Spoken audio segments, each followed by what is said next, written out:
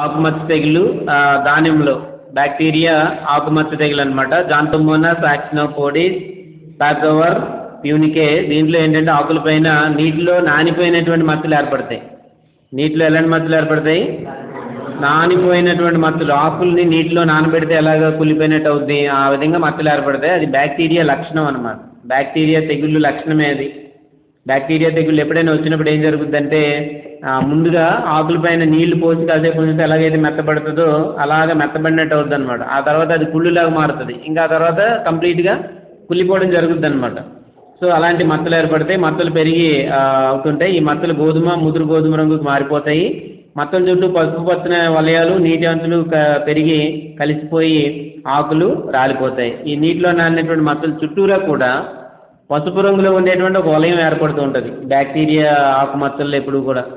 పసుపు రంగులో వలయం అంటే ఇక్కడ చూపెట్టాం కదా ఇందులో మీకు. ఇలాగ మచ్చ మధ్యలో ఉండేటట్టయితే మచ్చ మధ్యలో ఉండేది దీని చుట్టూ కూడా పసుపు రంగులో ఒక వలయం అనమాట అది క్యారెక్టర్ అంతే.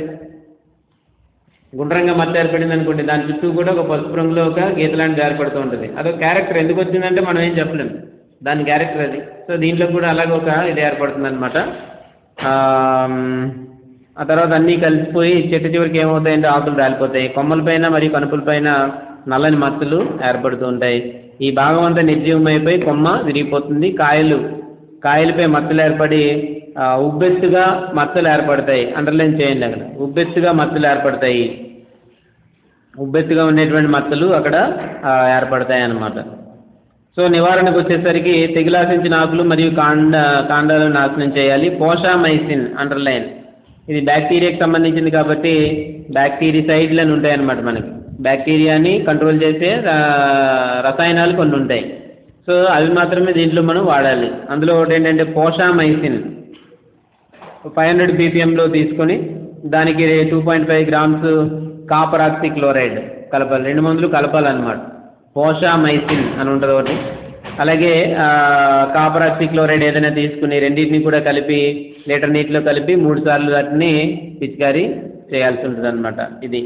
సో బ్యాక్టీరియా ఆకుమచ్చ తెగులు అంటారు దీన్ని. ఇవన్నీ కూడా ఈ దీనిలో వచ్చేవి. దీంట్లో చూస్తే మనకి ఏంటంటే సెర్కోస్ఫోర్ ఆకుమచ్చ ఒకటి వచ్చింది యాంథ్రక్నోస్ ఒకటి వచ్చింది కాయకుళ్ళు తెగులు ఒకటి వచ్చింది. నాలుగోది ఏంటంటే బ్యాక్టీరియా ఆకుమచ్చ తెగులు. ఇవన్నీ ధాన్యంలో వచ్చేటటువంటి తెగుళ్ళు అనమాట మొదటి మూడు కూడా సెర్కోస్పుర ఆంథ్రక్నోస్ కాయకుళ్ళు తెగులు మూడు కూడా శిలీంధ్రాల వల్ల వచ్చేటువంటి సమస్యలు.